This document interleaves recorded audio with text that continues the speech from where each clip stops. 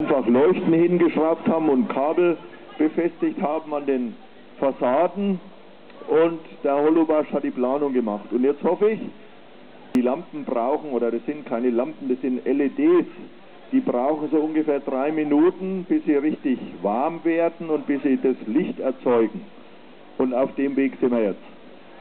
So circa, wir haben gesagt 22 Uhr, jetzt ist 22.06 Uhr, soll die Fassadenbeleuchtung in Bad Rodach starten.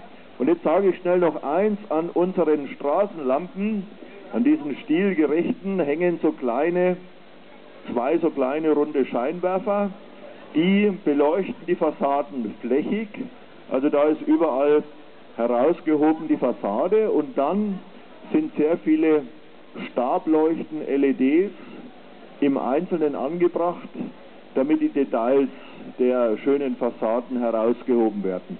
Und da warten wir jetzt drauf. Ich hoffe, es beginnt demnächst. Bayern liegt 0 zu 1 zurück. Das tut uns leid. Äh, die Halbzeit hat vor ungefähr 10 Minuten begonnen. Wir sind natürlich, ah, ich, ich möchte den Blick lenken auf die Westseite des Marktes in erster Linie, genauso auf die Nordseite des Rathaus, Apotheke.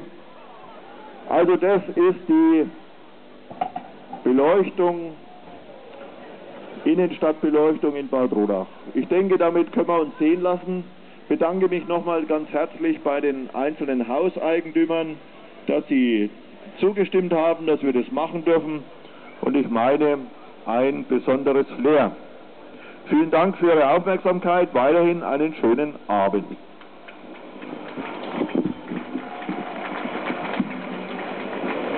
Mache ich es aus, lasse ich es an? Ja, einfach stecken lassen. Stecken lassen. Rechts, Fritz, Regel runter.